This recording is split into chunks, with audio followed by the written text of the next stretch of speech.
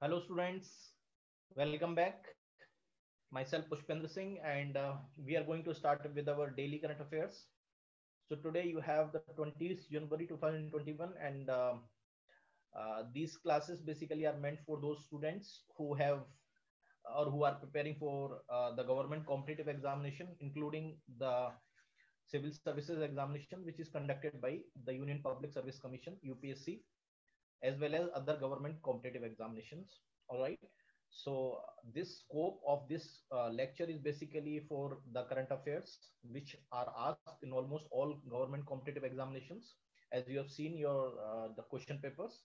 All right, and here we are, here basically we are referring or we are following the two national newspapers. The first is the Hindu. The first is the Hindu.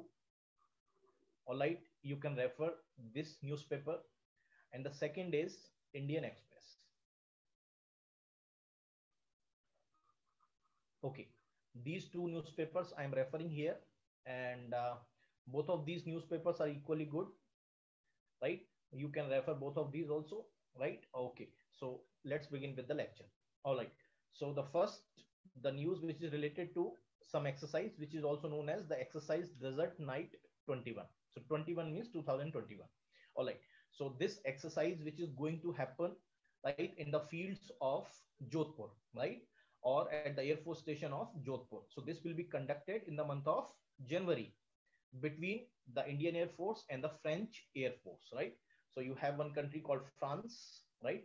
Its Air Force called French Air Force, French Air and the Space Force, uh, right? And the Indian Air Force. Both of these air forces basically would conduct an exercise. So it will be a bilateral exercise. Bilateral means the two countries are involved. So it will be a bilateral exercise, which is named as the exercise Desert Knight 21, right? It will be held or it will be conducted at the Air Force Station, which is located at Jodhpur from 20 to 24 January 2021. Okay, Jodhpur is basically a district in Rajasthan. Okay, it is a district in the Rajasthan, so it will be conducted in the Rajasthan. And uh, it will be a unique exercise because both sides will be fielding the Rafale aircraft, right?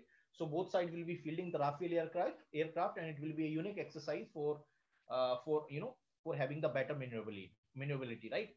And um, it will be a part of the Indo-French Defense Cooperation. Many MOUs have been signed between the Indian and the French uh, counterparts.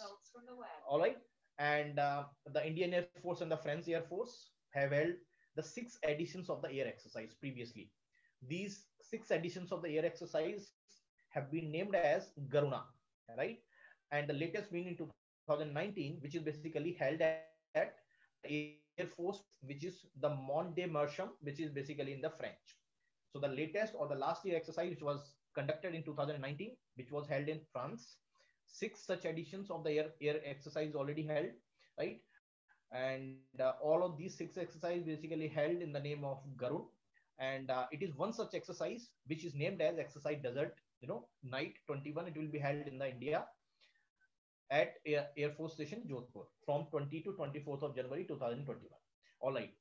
And here you must understand based on the existing cooperation between the two countries between the india and the francis right both of these countries will be utilizing right the opportunity to conduct this exercises so both will you know uh, sharpen their uh, existing knowledge, sharpen their capabilities while conducting this bilateral exercise, which will be held in Jodhpur. All right. And you must also understand that the exercise which was conducted in 2018, which was also known as exercise pitch black, right, which was held in 2018, the French air and the space force that was deployed on that time, right, and it was ferried to the Australia for the exercise, you know, pitch black it was hosted by the Indian Air Force, right? And uh, the Indian Air Force basically hosted the, the French Air Force in 2018 for the, ex, for the exercise called Pitch Black.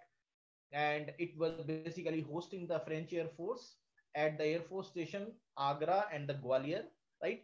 For, for, for the further exercise. All right. And uh, the presently for the exercise Desert Knight 21, right? Which is the, where the French deployment is already deployed in the Asia which is a part of the Skyros deployment, right? And will ferry the French Air Force to the Air Force Station in the Jodhpur, right? which is which will be where it will be held as a exercise Desert Knight 2021 between the Indian and the French, uh, you know, air forces. All right. So this is the map you can see here. It is the France, which is the map. All right, it is a political map. So you see basically it is North Atlantic Ocean here, the English Channel lying here, right? The another country called Germany, Belgium, Luxembourg, Switzerland, Italy. It is the Mediterranean Sea, and it is basically Spain. So you see this map. All right. Then Parakram Divas. Okay. So this Divas would be celebrated, right? Uh, to celebrate the birth, to celebrate the birthday of the Netaji Subhash Bose. All right. So to celebrate the birthday of the Netaji Subhash Bose, the government of India has decided to celebrate this day, right? Which is the 23rd day of January every year as a Parakram Divas. So from 2021 onward, right? Before uh, before 2021, this day was not celebrated. So it was first time it was decided that from 2021 onward, right? So that means including 23rd of January 2021 to further this day would celebrate as a you know Parakram Divas to celebrate the birthday of Netaji Subhash Chandra Bose. All right. Now, what is or what are the objectives of celebrating this day as a Parakram Divas? Right. The government of India has to has you know uh, clarified that through this Parakram Divas we would celebrate or we would remember the Netaji's spirit and you know the selfless service which he which he has done for the country or for the nation and he has lost his life for this motherhood right? And this you know all such all such spirit and all such service would definitely you know remember the Netaji Subhash Chandra Bose. And also it will inspire the people of this country especially the youths right and so that it can basically act just like Netaji Subhash Chandra Bose all right uh, to act with fortitude in the face of adversity as the Netaji did. All right. And the Gazette notification for this has already been published. So Gazette notification for this, you know, to declare a 23rd of January as a Parakram Divas has already been published, right, through government notification. And, uh, you know, the government has decided this 125th of birth anniversary of the Netaji Subhash Chandra Bose, right, uh, you know, uh, to, you know, to remember the contribution which is made at you know by Netaji Subhash Chandra Bose in the independence of this country. And also right this day would be celebrated right in a in a grand manner right at the national and the international level. And it will be beginning from 23rd of day 2021 right? Uh, for for for various preparedness a high level committee was you know set up. This high level committee would be headed by you know our honorable prime minister of india which is narendra modi and who will be heading this committee. Uh, this committee would decide you know the programs and uh, the types of uh, you know the other you know the functions which will be conducted on this day. And this committee would supervise and guide the commemoration of the birth anniversary of Netaji Subhash Chandra Bose on 23rd of January 2021, right? So this is the news which is related to uh, the celebration of the birthday of Netaji Subhash Chandra Bose. And this day would be celebrated or would be celebrating as uh, the Parakram Divas to commemorate or to, uh, you know, to remember the, the selfless service which is provided by, you know, the Netaji Subhash Chandra Bose, eh, right, in the contribution especially to the to our country, to our motherland, right, to make our India independent, all right, and to celebrate and to uh, remember, we basically celebrate the 23rd of January every year from 2021 onward as a Parakram Divas, right, all right. So it has been decided and it has been published on the government gazette notification, all right, and uh, from 2021 onward, we will be celebrating every 23rd of January as a Parakram Divas, all right. So it is, you know, the Gazette notification. So Gazette of India, you see here, Bharat Ka Rajpatra. So which has basically publishing that 23rd of January 2021 would be, you know, uh, celebrated as a Parakram Divas. Henceforth, every such date would be celebrated as a Parakram Divas. All right. Next, V Shanta. V Shanta. V Shanta was basically a doctor, right? So her full name was Dr. Vishwanathan Shanta or Dr. V. Shanta. So the Prime Minister Narendra Modi has expressed uh, you know, grief over the demise of Dr. Vishwanathan Shanta. So who was Dr. Vishwanathan Shanta? Let's let's understand. So there is an institute called Adyar Cancer Institute. This Adyar Cancer Institute is located in Adyar, Chennai. Okay, Adyar is the place in the Chennai, Tamil Nadu. It is located just nearby to IIT Madras. Okay, near to IIT Madras. Okay, so this Adyar Cancer Institute is very, very famous, all right, for the treatment of the cancer patients, right? So here the Vishwanathan Shanta, who was a Indian oncologist or the specialist who basically treat the cancer patients. And she was basically a chairperson of Adyar Cancer Institute, which is located in Chennai, Tamil Nadu. And, uh, you know, because of her effort, you know, the best quality treatment is, you know, available to every possible patient in our country so she made a she made a best effort to make the quality and the affordable treatment regarding the cancer patients or, or to the cancer patients have been available in India, especially with the efforts of Dr. V. Shanta, right, who is basically a chairperson of Adyar Cancer Institute. All right. And uh, she is basically associated with the Adyar Cancer Institute since 1955, right? And he has basically held the several positions, including the director of the institute between 1980 to 1997 and she also served very high positions both at the national level as well as the international level as it is written here so she was a basically member of various such various such committees for example she was the member of the national and the international committees on health and the medicine including she was the member of world health organization's advisory committee on the health all right so it is basically the due recognition of, uh, you know, Dr. V. Shanta, who had, you know, made the tremendous effort to uh, to ensure that the quality treatment and affordable treatment is available to every citizen of this country who are suffering basically from the cancer. All right. So the Prime Minister Narendra Modi has expressed his grief on the demise of the famous oncologist Dr. V. Shanta. All right. So she is Dr. V. Shanta, who is treating the cancer patient at Adyar Cancer Institute. Okay. Next, monsoon. So let's understand the monsoon. So everybody knows about the monsoon. Monsoon is an Arabic word, okay, which means it is it has been taken from Arabic word, right, which is basically means the mosim, which is basically mean the reversal of the wind. The reversal of winds. So as you have seen that these reversal phenomena of the winds are found mainly in Indian subcontinent. All right. So what is the reversal of the wind? That means during monsoon,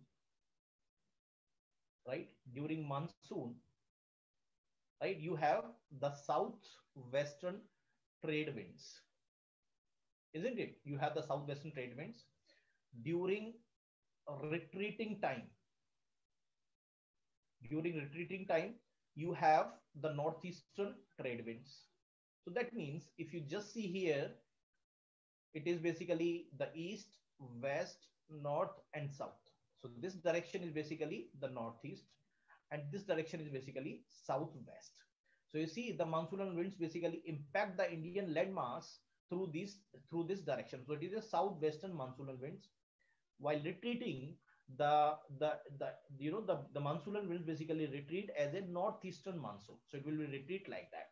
So there, there is a reversal of the winds. You see here the this direction is reversed from the opposite direction, right? So the southwestern direction is reversed by the northeastern direction. So the another problem what we are facing here is monsoon forecasting. So first of all, the better to better forecast the monsoon, the Indian Meteorological Department, right, who is basically an agency under government of India, who is basically you know forecast the monsoon, any changes in the rainfall, right, every year, right, based on certain models. So there are many models like statistic statistical models, the dynamic models. In India, basically, we followed the statistical model, not the dynamic model. So now uh, the news is basically flashing regarding that Indian Meteorological Department may introduce a dynamic model, right? A dynamic model to, to better forecast the rainfall in our country. All right. So there are three models which could be tested this year, right, with the Indian Meteorological Department. So the two models are basically based on the dynamic models, and the one model is based on the statistical model. Okay. So what is the dynamic model? First of all, you must understand the dynamic model, when you say the former, which is the dynamic model, right? The climate on a particular day is simulated on the supercomputer. And the meteorologist basically observe the changes in the daily output. So it is a simulation on the supercomputer. So that means the dynamic model means it is basically 3D or three dimensional mathematical simulation of atmosphere right on the computer or on the supercomputer which is written here. So i would write on the supercomputer right? So it is a 3d mathematical sim simulation of the atmosphere. But you must understand here the dynamic models require the tremendous expertise. So it require the expertise to simulate this model all right to forecast the weather. Now it is mostly effective. So the dynamic model is mainly effective for the rainfall forecasting rainfall forecasting over the small spatial and temporal scale. Okay what does that mean by? Is a simply mean that the dynamic model when we are using the dynamic model is mainly useful for the smaller spatial scale. Spatial means with the space with the space. That means it will be it will be more useful for the smaller space or for the forecasting of the smaller area right and for the smaller temporal scale that means we can forecast right our our climatic condition our weather condition our rainfallic conditions on the smaller scale temporal means with the time so we can we can easily find out the changes or the fluctuation in the rainfall over the smaller area over the smaller time period. But you must understand it is not possible. So it is the biggest benefit or it is the biggest pros of your dynamic model, biggest benefit. And it is the biggest drawback of the statistical model also because the statistical model, we cannot, we cannot first of all predict, you know, over that smaller, you know, spatial scale and the temporal scale. And the moreover, moreover the forecasting done by the statistic model or statistical model is not that much accurate but the but the forecasting done by the dynamic model is much more accurate than the statistical model. All right let's understand about the statistical model. The other model right which is also known as the statistical model that basically you know based on certain you know relationships of the physical parameters. So for example you have to calculate first of all the sea surface temperature right? So you have to go, you have to check, you have to measure the sea surface temperature. You have to find out the snowfall, the temperature of the land mass, right? Which is basically, you know, also the actual observed rainfall in the past. So based on which you will basically forecast the changes in the uh, in the rainfall and which is not accurate, which is not accurate sometime right i'm not saying that it will be accurate or it will be it will be always you know not accurate but it will not be you know uh, that much accurate which is basically found through the dynamic model so dynamic model is very much reliable right? So the indian meteorological department or the agency basically decided to introduce the 3d model 3d mathematical simulation model which is also called the dynamic model. It will be uh, good for the you know for the better weather forecasting right? For the rainfall. All right. And there are three models which are under construction. So you see here 12 global circulation model, which is the dynamic model. So as I told you, the dynamic model, which are related to the 3D, right? Simulation model, which where the outputs would be combined into the single one. It is more reliable. All right. A model that gauges rainfall based on the sea surface temperature. So again, you have to take the measurement, right? In terms of the sea surface temperature, especially in the tropics.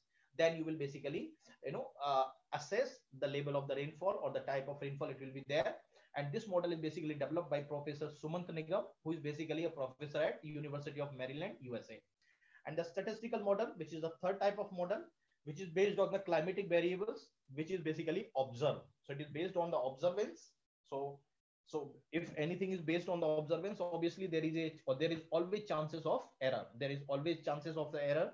So that is why the statistical models are not that much reliable right? Uh, right? They are not accurate sometime also right?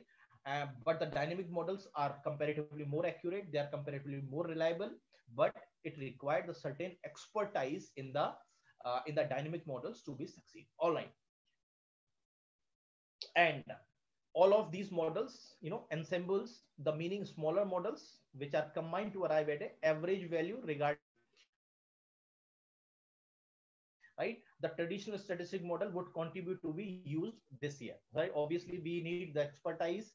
We need you know uh, you know the better forecasting. So the statistic model apart from the dynamic model would continue to be used in uh, forecasting of your uh, you know climate. All right. Next the regulation bonds. So first of all what are the regulation bonds? So let's understand first of all regulation bonds. So regulation bonds are basically you know uh, they are basically you know raised at you know some sort of a offshore platform or in other country jurisdiction right?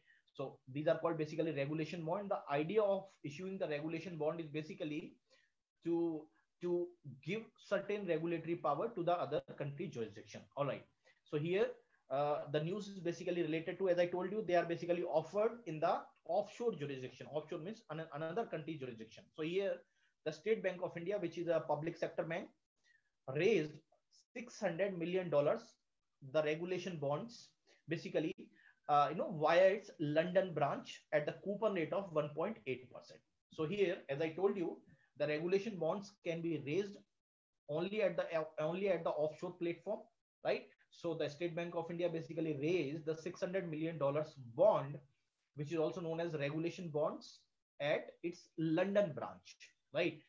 And this bond which is also known as the cooper which is also known as the regulation bond which is priced at the spread of 180 or 140 basis points over the next 5 years right? And this would be listed this would be listed on the sgx st what is that sgx st means? The singapore exchange. The singapore exchange okay? And india inx india inx means it is basically you know the india international exchange ifsc limited which is basically located at gandhinagar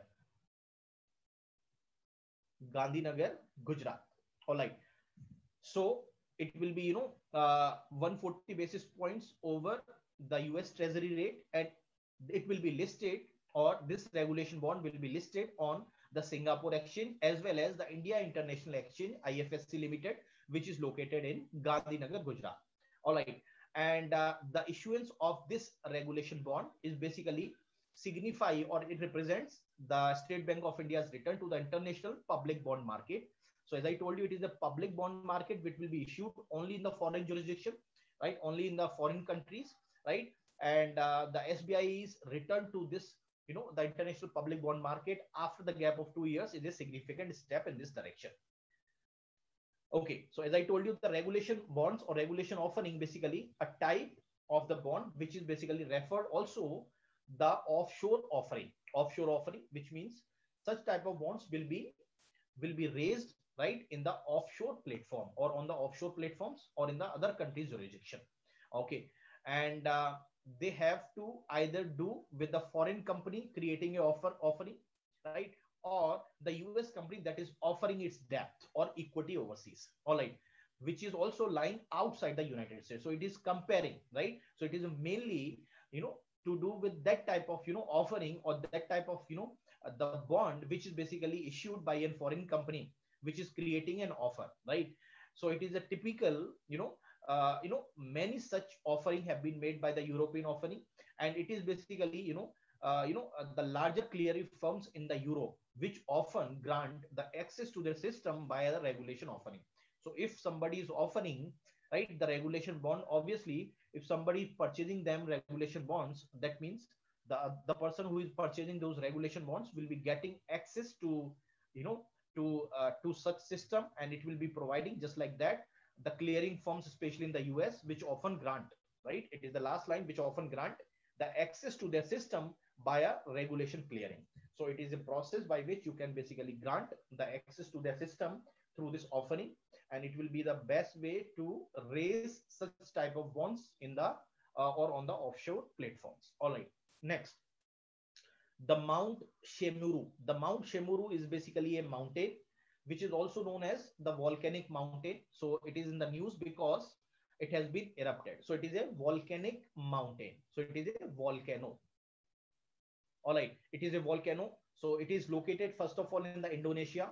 So it is the Indonesia's mount, which is also known as the Mount Semeru, which have been recently erupted, right? And which has poured the, you know, the very high amount of ash, right? And the lava and which is basically estimated you know 5.6 kilometers into the sky so you can you can assume that the lava have been poured or the the ash which is basically emerged along with lava which have been you know uh, poured into the sky right to the height of 5.6 kilometers right and um, you know the java is basically the country's most densely populated island so this mount Semeru is basically located on the island of java right on the island of Java. So this Semeru is also known as in the in the Java in the basically in the Indonesian you know language the Great Mountain, the Great Mountain, right? Which is also the highest volcano in the Java. The Java is most densely populated island in the Indonesia. Or like the Indonesia is a country, so it is a most or it is the highest volcano right on the Java, which is a island or which is a the island you know uh, of the Indonesia. And it is also an active active volcano. Active means it is basically erupting in the recent past also right? And uh, you know it is also the most important the tourist hiking destinations right? Where the tourists also flock in this you know uh, in this volcanic island.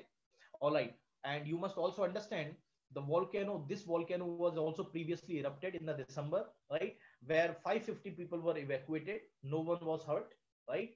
And uh, and it is basically along with the Indonesia which is suffering from many such casualties. For example, right, the multiple landslides occur in the Indonesia. The deadly earthquake also occurred on the Sulawesi Island, right, and also the Sriwijaya Air Boeing 737 has been recently lost or recently crashed, right, right, and which has lost basically 62 people who were board in the airplane. All right. So many such disasters happen to uh, you know uh, to the Indonesia this year. So like so so it is basically mainly related to this island or this volcano. You can see this volcano is basically erupting. So it is also an active volcano which has the recent history of eruption, where you know uh, around 5.6 kilometers above the ash have been found. All right, because of this volcanic eruptions. Next, bad bank. All right. So what is that bad bank? First of all, you must understand that we have the problems called the non-performance or non-performing assets or the undue loans which have not been paid by you know borrowers so it is basically you know causing lot of you know balance problems in the in the basically in the financial sheets of the bank because now the bank have you know given the loans to the people the lo- the people is not paying back which is turning to the non-performing assets to the bank, right? So now the government is basically deciding, or the RBI governor has agreed, right, to look at the proposal to create a bad bank. Okay. So this bank is not a, a regular bank, first of all. All right. This bank, the main idea of creation this bad bank is ultimately to recover those non-performing assets from the borrowers who have not been paying the the loans they, which they have been borrowed right so ultimately idea of creation of this bad bad bank is to recover the unpaid unpaid loans or undue loan or due loans which have not been paid by the borrowers right and which have been taken from the bank right so to ultimately right so to recover or so to you know uh, to recover the conditions of the bank All right. So the bad bank conveys that it will function as a bank, but which has the bad assets to start with. So all such bad assets, which are basically, you know, lying with the banks, this bad bank will take over them. And the main idea is to basically recover those, you know, non-performance assets, right? So the bad bank is not like, you know, lending type of institution, just like a bank. It, it won't lend or it won't, you know, give the money to the people, but it is an asset reconstruction company, right? Asset reconstruction company or asset management company, which is basically try to manage the assets of those banks which is already a non-perform or which is already the non-performance assets. So it will take over those non-performance assets. So it will take over the bad loans of the commercial banks, which is lying in our India, right? And it will manage those, those non-performance assets or the bad loans. And finally, try to recover the money or those bad loans over the period of the time. All right. So this is the mandate of this bank. So idea is not to lend. Idea is not to lend. So this bank will not involve in lending operation just like a normal bank, right? And it will also not involve just like taking the deposits, just like we go to the bank and deposit our money, we lend the money, right? The bank lend us to the money also. So this bank or this bad bank will not be involved in the lending or the taking deposits, right? And it will help the commercial bank, right, to clean their balance sheets because these balance sheets have been disturbed or disbalanced because of the non-performing assets which have been due or you know the due with the banks and ultimate idea to resolve these bad loans. All right. And the taking over of these bad loans is normally below the book value of these loans. All right. So these bank you know or these bank or these bad bank basically try to recover such loans right as much as possible subsequently and that will help ultimately right to clean up the balance sheets of the bank and to resolve these bad loans problem in our country. All right. Fine. Then jaya jetli task force. So you see here first of all the jaya jetli task force was set up by the prime minister narendra modi or by the government of india. All right. The prime minister narendra modi basically you know uh, you know uh, or the or the cabinet basically or the government of india basically is trying to you know uh, you know increase the age of the marriage, especially to the woman, right? So this task force is basically set up in the context of increasing of the age of the marriage, right, for the woman. And it was headed by the Jaya Jetli. So it is known as the Jaya Jetli Committee. This committee is basically, you know, set up on the in the context of, uh, you know, recommending whether the age for the woman can be increased or not, right? So this committee has recently submitted reports after five months delay, right? So this committee has submitted its report to the Prime Minister Office and the Ministry of Women and the Child Development. All right. The chairperson of this committee, as I told you, is Jaya Jetli. And uh, she refused to comment on, you know, the report, which is basically submitted uh, after the delay of five months. So first of all, this panel was formed in the June last year, right? and it is supposed to submit its report by July 31st, 2020, but it did not submit. So it submitted its report after the gap of five year, five months. All right. And uh, it, it is in the context of the Prime Minister Narendra Modi's the speech at the Independence Day last year, right, which basically spoke or spoke about, you know, the the right age of the marriage for the woman. So ultimate idea of speaking of this right age of the of the marriage for the woman is to basically lower the maternal mortality rate right? As well as to improve the nutritional label of the woman. All right. So even the finance minister nirmala sitharaman also right uh, also said in his budget in in her budget speech that a panel which is headed by you know the which is headed by the Jaya Jetli would look into the matter related to you know uh, you know uh, the hiking or the increasing of the marriage age for the woman in the context of lowering of maternal mortality rates as well as improving the nutritional label among the you know the pregnant and the lactating women in our country. All right. So idea is to reduce this maternal mortality rate which is also high side so in India, the MMR is very high, right? When we compare with the Western countries, right? and the nutritional label among the women is very very poor. So almost 50% of the woman is anemic you know right?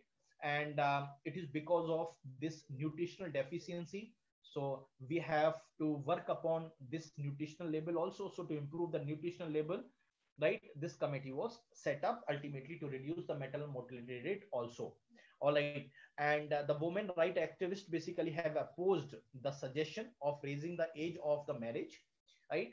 Uh, the women right activists basically opposing the age of opposing this move of raising the uh, you know the age for the marriage from 18 years to 20 years basically you know uh, basically to it this such move basically you know used to incarnate young adult you know marrying without the parents consent. So it will have that much effect on the on the basically on the adults or on the basically the youngsters basically who are in the marriage age. All right. Fine. So so you can see basically here a couple which is standing. All right. So next is the first national conference of the states on the logistics. So it is the national conference of the states right where the main participants are basically the states and it is based on the logistics. So it is conference which is which is on the logistic. Logistic you know it is basically you know transportation of you know different type different type of you know consignments. So it will basically using you know different type of means. For example you may use the road roadways you may use the railways you may use you know the airways you may use basically you know the waterways so different type of logistics basically will be used for the transportation of goods and the services so first such national conference of the states on the logistics right were basically organized by the Union Minister of Commerce and the Industry, which is basically Piyush Goyal. So Piyush Goyal basically addressed the first national conference of the states on the logistics. All right, and uh, and uh, and the and the national logistic policy, which is basically under under consultation, right? Uh, it will be come out as a boon for the better logistic capacities or capabilities in our country, right? Along with the National Logistic Council at the center level and the state logistics coordination committee at the state level would basically coordinate in this effort right and uh, so that the better coordination the integration and the integrated development of the logistics center can be can be developed in our country. All right. And uh, the minister who is basically the Piyush Goyal who is basically the union minister of commerce and industries said the logistic is all about the 5 R's. Getting the right product right? You will get the right product when you have the better logistic capacities right?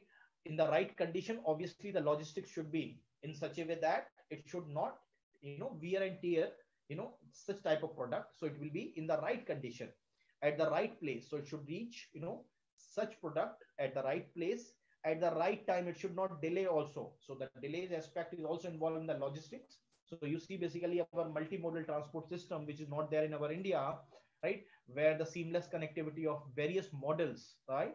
So where you know uh, better transportation better logistics facilities can also be integrated in our transportation system where the product can be reached right product can be reached in the right condition at the right place at the right time and to the right consumer or to the right customer right? It will be beneficial for our logistics sector also. And uh, regarding you know some data so india has around 200 billion dollars logistic ecosystem all right? So 200 billion us dollars logistic system lies in india. And uh, good part of this logistic system is basically supported by indian railways right and uh, according to data right according to data the piyush goyal also referred around 13 to 14 percent of such cost of the product is logistics so that means you can see that if the product is 100 rupees right around 13 rupees or 14 rupees belongs to logistics. All right. So if you have to make this product cheaper, you have to reduce the logistic cost, isn't it? So that is the idea of this, you know, of this conference also, isn't it? So this conference was conducted, right? uh, especially in the context of reduction of right the logistic cost right So if we reduce the logistic cost uh, to the level of around 8%, just like as a comparison with the Western countries, it will definitely reduce the cost of the product also. And it will help, you know, the, you know, the common people in our country. All right. So you can see better, you know, different type of logistics or better different type of models. It is a ship, ship consignments, right? The aircraft is also carrying some sort of a consignments. You see basically trucks, right?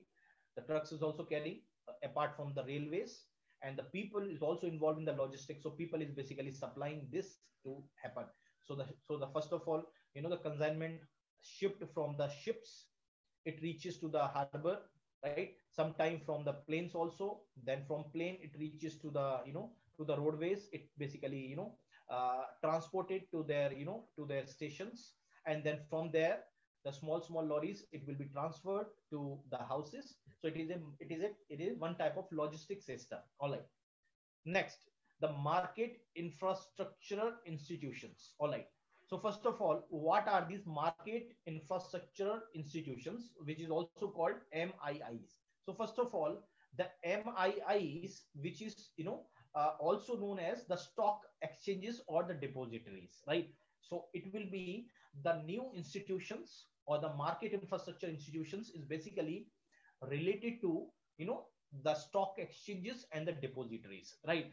So here the news basically which is flashing regarding the market infrastructure institutions uh, is related to the securities and exchange board of india which is a regulator for the stock exchanges or regulator for the capital market. So if you see basically here the SEBI which is basically regulator for these stock exchanges has float has floated a discussion paper on the review of this ownership and the governance norm to facilitate the new entrant into the the stock exchange and the depository so ultimate purpose idea of floating this paper by the SEBI is to introduce right or to uh, you know to incorporate the new entrant into the domain of this stock exchange and the depository. So ultimately, the SEBI want through this floating paper that a new dip that the new entrant or the new uh, you know uh, the you know the new entrant can be enter into the stock exchange and depository you know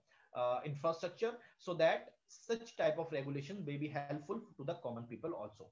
So it is basically a paper which is floated by the security and exchange board of india to ensure that the new entrant can be entered into the ownership and in, into the stock market in the stock exchange stock market and the depositories. So it basically try to review the ownership and the governance norms of such stock exchange and the depositories. So you see basically some data. I have brought some data. You see basically here you know the important key proposal through this discussion paper which was which was floated by the Security and Exchange Board of India, right? A resident promoter, a resident promoter means a person who is basically resident in our country, resident in India, right? A resident promoter setting up of any MII, which is the market infrastructure institution or the stock exchange or the depositories, right? May hold currently 100% stakeholding, right? But the idea of this paper is to dilute, is to dilute right this 100% stakeholding to not more than either 51% or 26% in the next 10 years. So ultimately what is what, through this paper what the SEBI is trying to do the SEBI is trying to dilute the stake in already existing the MIIs right? So here the MIIs which are which are basically developed or which are basically you know uh, floated by the resident promoter right? The shareholding of 100% will be ultimately brought down to not more than 51% or 26% in the next 10 years to come all right? And apart from this you know the the resident promoter you may have the foreign promoter also which may also promote the MIIs also. So these foreign promoters are divided into two types here. The one is basically you know from those countries which are part of the financial action task force okay? So it is basically a regulator also in the financial field. So the foreign promoters which belongs to the FAFT or FATF member jurisdiction. So that means in the financial action task force there are certain countries which are the part of this financial action task force, right? So only those members, only those foreign members which are the part of the foreign financial action task force, they may set up such MIIs and which may hold up to 49% of the shareholding, right? It is the re- it is the real current scenario, but ultimately this paper through this paper which is floated by the SEBI, the SEBI has brought down this 49% of the shareholding to not more than either 26% or 15% in the next 10 years. So ultimately, the foreign promoter who is promoting an MII or the stock exchange, their their jury or their you know their contribution in that will also be or their stakeholder in that MIIs will be reduced from 49% to 26% or 15% in the next 10 years. All right and the foreign individuals or entities other than FATF members. So as I told you, the Financial Action Task Force is also regulatory body, is an international regulatory body in the in the financial field, right? So the member which do not belongs to this FATF, right, may acquire or may hold such MIIs, but their ownership or their ownership of such shares would not be more than 10%. So that means they may acquire up to or holding up to 10% stake, 10% stake in the MIIs, which is also known as you know the market infrastructure institutions, which are also known as the stock exchange and the depositories. All right.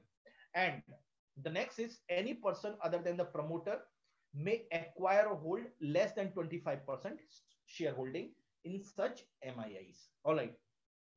So there is it is basically for the person who is basically acquiring or holding the shareholding in this MIIs. All right. And, uh, you know, 50% of the ownership of such MIIs basically represented by the individuals.